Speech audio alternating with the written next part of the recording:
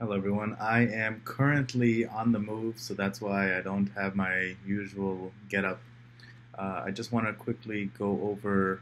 You know, I always say that. I always say I want to quickly go over, like, I'm always in a rush. I don't know if that's a great introduction. It's just a habit. Um, but yeah, with that said, I want to I want to talk about when having a CIO makes sense. I mean, when when does a company mature enough, or when does it reach a point that having a chief information officer makes sense? Having a chief data officer makes sense. Having a chief technology officer, like any acronym, like when does it make sense? Uh, because there's this nasty, there's a f- couple of nasty trends happening right now. Uh, a lot of companies are trying to have chief te- chief technology officers instead of CIOs, instead of chief information officers. They're trying to have a chief technology officer. I think those are two different. Those are two different roles.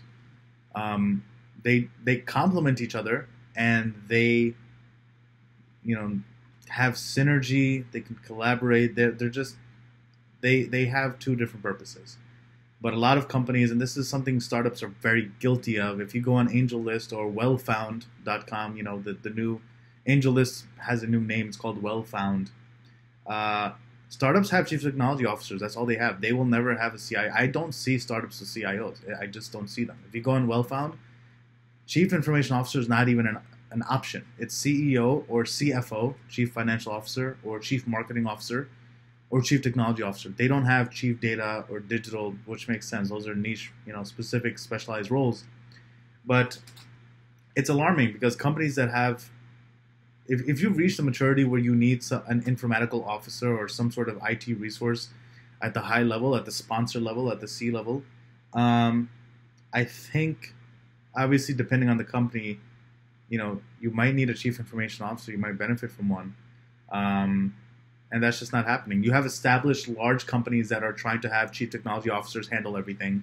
And then you have startups, which I guess could get away with it just because startups are known for trying to assemble their team first. So, you know, the startup will have a few people. They don't even have employees, they have external resources overseas that they're leveraging but yeah, you'll have a CEO and a CFO. You'll have a CEO for a company that isn't really operating yet. It might be in stealth mode and hasn't really done much beyond the LLC formation.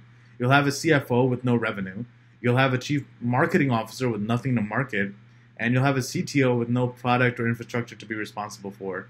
That's what some startups do. They assemble they assemble everyone at the top, and then over time they build out their their pyramid and they leverage overseas resources. Then when they get traction, they get funding, they start hiring locally. Uh, but it's a problem. I don't see any startups, right? And I'm trying to think. I think this is actually an honest answer. I don't think I've seen a startup that has a chief information officer, and it's it's different purposes. Like I think a CTO can has a value, has a place, um, because they they mostly focus on infrastructure. Um, they focus a lot on engineering. They focus a lot on uh, hardware um, and it's it's different. It's different, right? I mean, there are some companies where the CTO is actually also the CIO.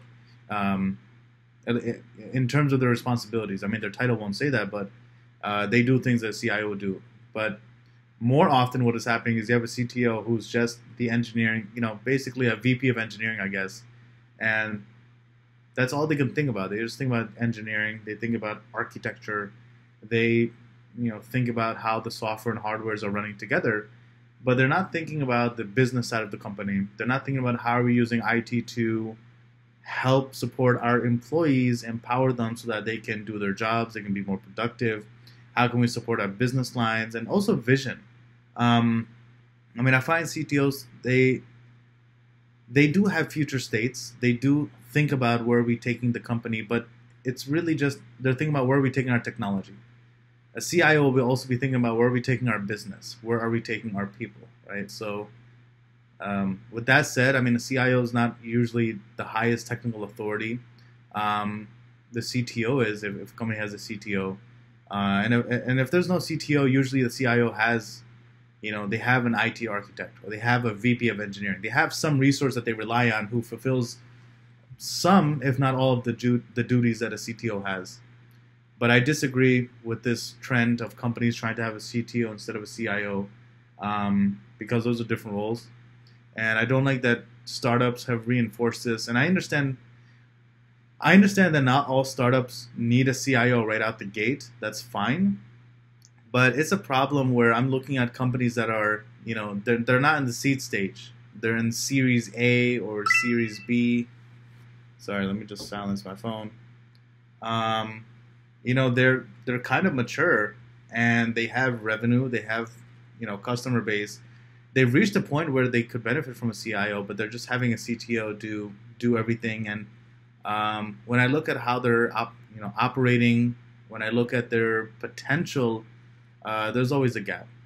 Um, and this is something I observe sometimes as an outsider, and then this is also something something I've seen as the inside uh, consultant, resource, advisor, whatever you want to call it, where I come in and I look at how things are operating, and I, you know, I look for, I, I do a SWOT assessment, so I look at strengths, weaknesses, opportunities, and threats, and um, you know, I always deliver my findings, and I always tell them, you know, what what their future states will look like some companies just hire me to do their due diligence. They just want to say that they consulted with someone and they just shred my paper immediately. And then uh, some companies actually they do over time look for ways to develop a CIO role.